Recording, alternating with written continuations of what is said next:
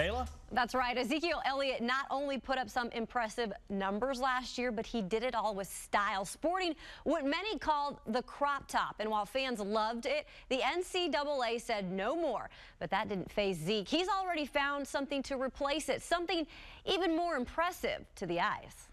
If anyone knows how to get Buckeye fans on their feet, it's running back Jones Ezekiel right Elliott. Side. Jones, late pitch Elliott to the 50. Turns to the Bronco 45. Hurdles to the 40. For the first time this season, he showcased some nifty moves, jumping over a Western Michigan defender. Then shortly after that, Twitter went wild with hashtag Zeke Leap. The first time this season, I'm not gonna lie, I, I really planned it out, but uh, this kind of came naturally. And that's no surprise to anyone who knows his background. Not only did Zeke run hurdles in high school, but his mother, Dawn, was a track star at Missouri. I know he has a, a background in hurdling. Yeah. so I guess that's just something that he does. Uh, maybe he was just waiting until this year to really break it out. Four times this season, Zeke has gone airborne.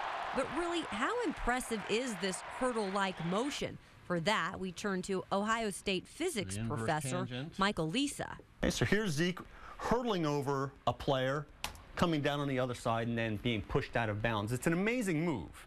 And it's an instinctive move where he's anticipating motions on the field and getting up and over a player that never would have expected it. For Zeke, there's not much to think about when he's up in the air. Uh, just trying to get back on the ground before someone comes and hits me, honestly. But then again, he's only off the ground for a split second. Uh, a basketball player, for example, LeBron James might have a hang time of about 0.85 seconds. Zeke is in the air for half of a second only. And that's a short amount of time when you're talking about Zeke's body type. It's kind of funny to see that you got a, a 225 pound back just kind of going over top of people, and it's not like these guys are completely diving at his ankles. They're kind of still on their feet when he does it, so it's pretty amazing to see. Professor Lisa would agree. He's compact and muscular, and, and often these are not the most uh, bouncy people. I mean, usually, usually high jumpers, both male and female, rather tall.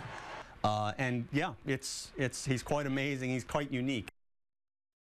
And Zeke told us the real reason for starting the leap this season is that he felt like defenders were coming for his legs. So he's being productive and leaving in the air before they can even touch him. Guys.